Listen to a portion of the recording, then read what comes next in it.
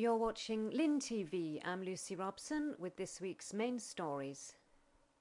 US investment consultant firm PIMCO was due to deliver its final report on the due diligence review of the Cypriot financial sector today as part of Cyprus's application for an EU bailout made last June.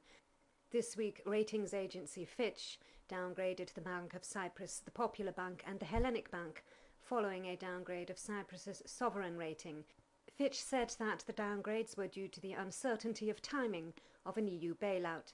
Terms are expected to be finalised after the presidential elections this month. Meanwhile, Russia has said that it is ready to contribute to the financing of Cyprus alongside the EU and three tourists, all teenagers, pleaded not guilty to the manslaughter of a British soldier stabbed to death in a nightclub brawl in Ayia Napa last November. The three suspects are being held in Nicosia Central Prison. The trial will continue in April.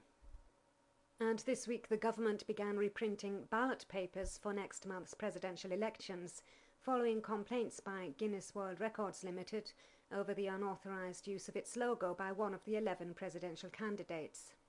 Independent candidate Andreas Efstratiou was authorized to use the logo in 2007, but was deprived of the right four years later.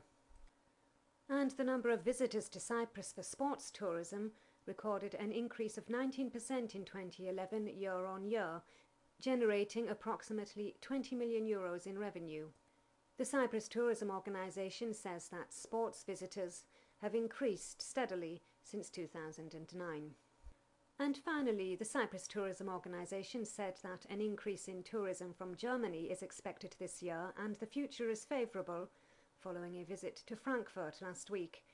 In response to market growth, there will be an increase in the number of seats on flights from Germany to Cyprus in 2014.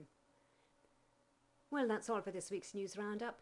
Visit our print version news for details about what's on in Paphos. Please follow the link on our homepage. We'll be back on Monday with a fresh update of local news.